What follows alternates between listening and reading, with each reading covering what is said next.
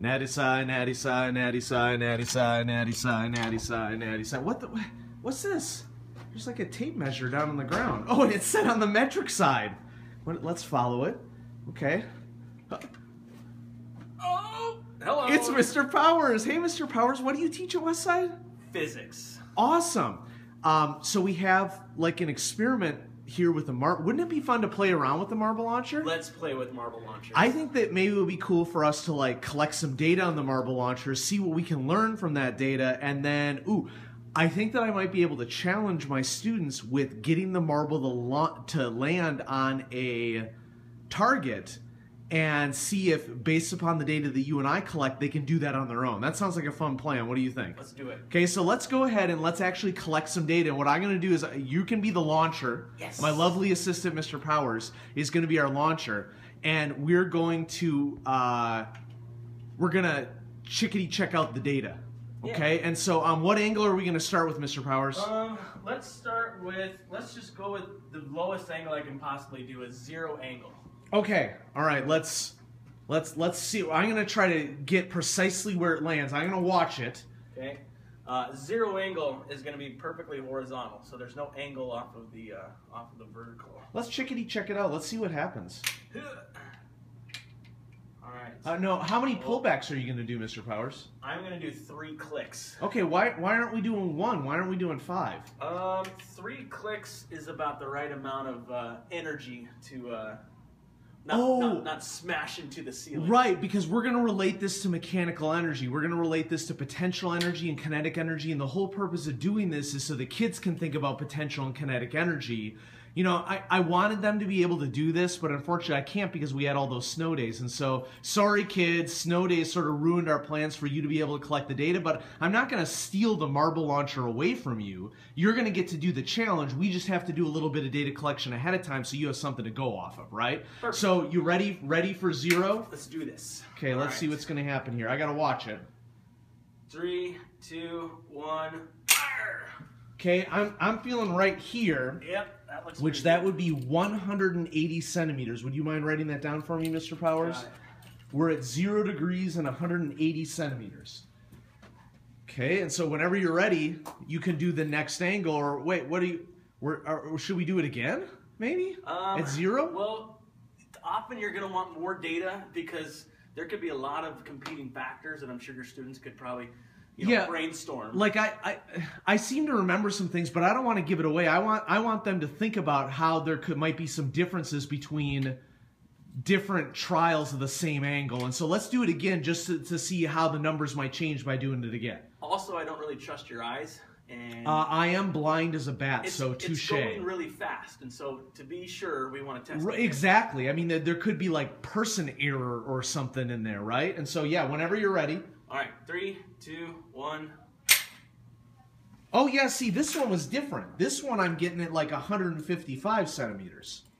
Okay, so I guess this trial I'm gonna try to do from this angle to see if we can like sort of see where it lands as we're doing it. And so you're writing these things down, right, Mr. Yes, Powers? we got 180, 155. And we could just uh, average these all out. That would Sure. be the best way to take a lot of data that you could be sure exactly what it is. That's that sounds like a smart plan. Okay, whenever you're ready. all right, three, two, one.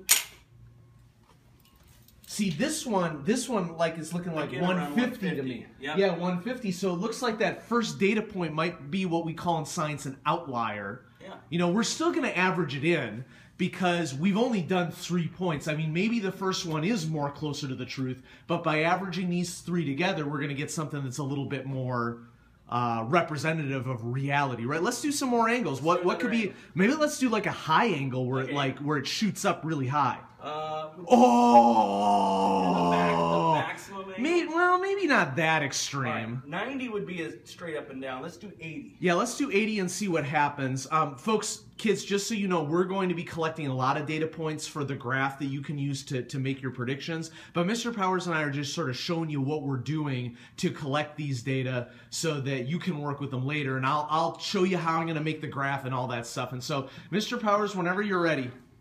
All right, three, two, one.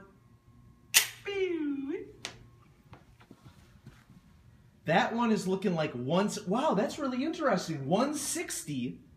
This is like a completely different angle, but we got a similar result to what we got before. So that one was 160. Let's let's do it again and see Maybe what happens. Maybe it always launches to 150-ish. Maybe it does. I, I think probably what we're going to have to do is we're going to have to try like a different angle just to make sure that this marble launcher doesn't always launch at about 160. Well, let's try uh, 60 degrees. Oh, uh, okay. Well, well, wait. Don't we want to do multiple trials with each Oh, angle? right. More We trials. do. Okay, and so let's let's do just like two more with this, and then we can go on to another angle. 80 degrees. So this is uh, retesting. 80 degrees. Three, two, one. 165 is where it landed. 165. So we had 160. Where- we had 165. Let's do one more at this angle, and then we'll switch to another. We got to make sure that this thing just doesn't always launch to 160. Right. So whenever you're ready. Three, two, one, go.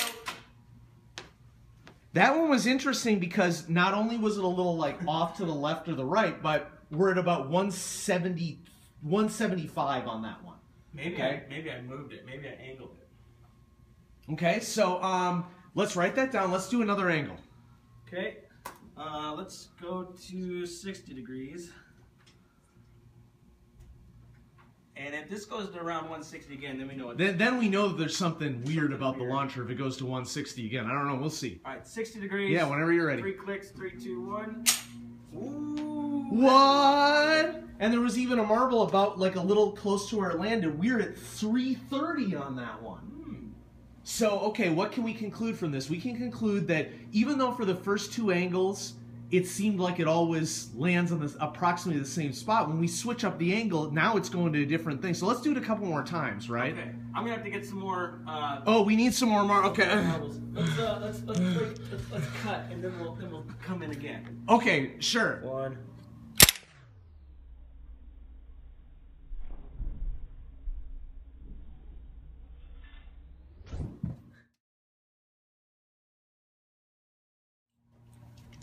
So here's where we're at so far. We've started collecting our data and we have three distances for a couple angles and we're going to try to get as much information as we can to be able to figure out what the marble launcher actually does with the marble depending upon the angle. And so what what should we do now, Mr. Powers? Um, we're gonna switch to uh, well. okay, so we're getting a clearer picture of that. All right. Okay? Now- So should we do some more angles? Yeah. Okay, so Mr. Powers and I are going to do some more angles on our own, and then I'm going to take you all through how I'm going to make a graph of this so that we can make a representation of what Mr. Powers and I have learned, so you can use that to do the Marble Launcher Challenge. So thanks for watching, and there will be another video coming up in which I'll show you how I made the graph. 60 degrees. Ready. Aim.